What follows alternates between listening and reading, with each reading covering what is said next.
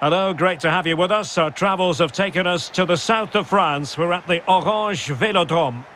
I'm Derek Rae at the microphone, and joining me for match commentary is Stewart Robson.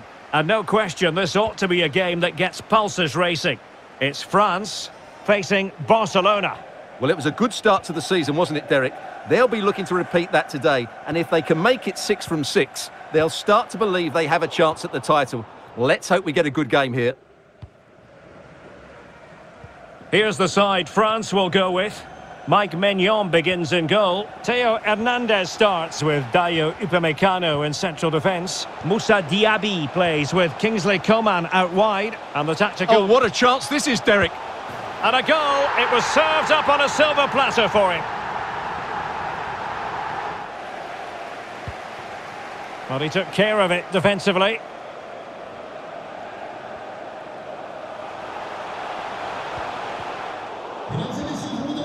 Good tackle, take it away.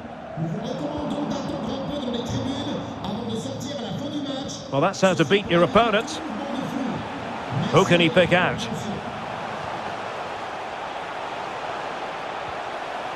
Oh, surely. And a goal this time. Applying the finishing touch. Just what the doctor ordered. Well, that takes the wind out of their sails. Great defending. This attack looks highly promising. Can he finish? And it's a double for him in this game. No way for the opposition to contain him. And no wonder he's off celebrating.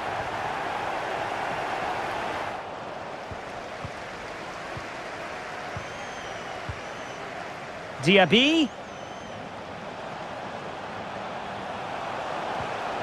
A wonderful intervention. Lewandowski.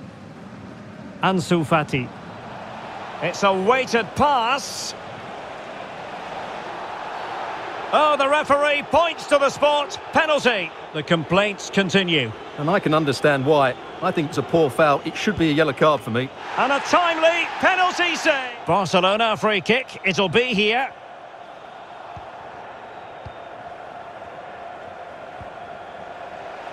Well, they've given him too much space.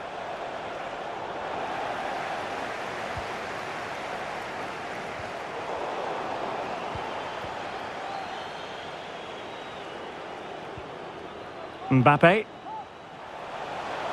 Coman. Return to Mbappe. Being egged on by the crowd. Oh, keeper dealt with it.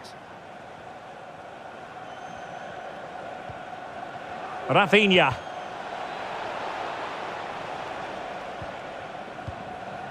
Lewandowski now. Koundé. Might be able to get in behind the defence. And a shooting chance for Lewandowski. And a goal it is. The keeper really not part of the equation. So there it is. 3-1 the current scoreline here. The counter-attack comes to an end. Ter Stegen needs to clear his lines. Effort from long distance. And there is the goal to make it a hat-trick. Very quick thinking there. Now, what can they produce on the flank? It must go in, surely. And he finds the net. He could hardly miss. Well, there it is, the final whistle, and France have prevailed in this one. Stewart, your thoughts? You're absolutely right, Derek. Their attacking play was excellent, full of energy and pace, and the midfield completely dominated the game. It was a great all-round performance.